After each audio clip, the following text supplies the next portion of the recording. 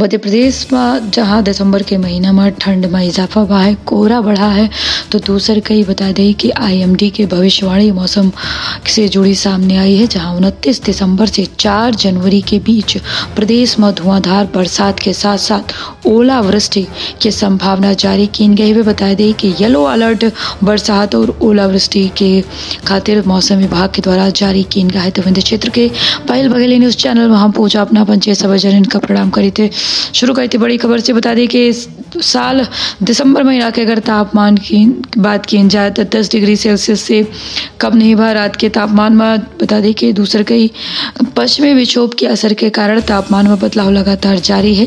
पिछले सात दिन में दिन के तापमान चौबीस दशमलव आठ डिग्री सेल्सियस से उनतीस डिग्री सेल्सियस पर पहुँच चुका है।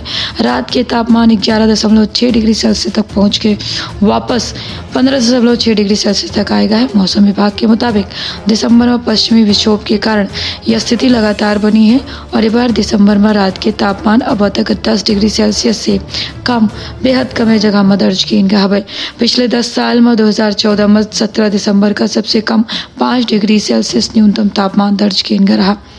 पिछले चार दिनों से बता दें कि तापमान जो है दिन के उनतीस डिग्री के आसपास बना है।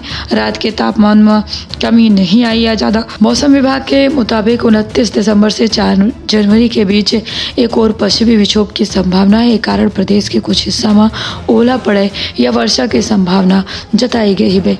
इंदौर संभाग में जहाँ बादल छाए रही तो बूंदाबांदी के आसार हाँ कोहरा के असर घलाए नज़र आई एक साथ ही साथ बता दें कि आगामी कुछ दिनों में कई कई हिस्सा में जो है तेज बरसात के साथ साथ ओलावृष्टि हो सकती है। तो सजग रही सतर्क रही रखिए आप और अपने परिवार के बहुत ख्याल।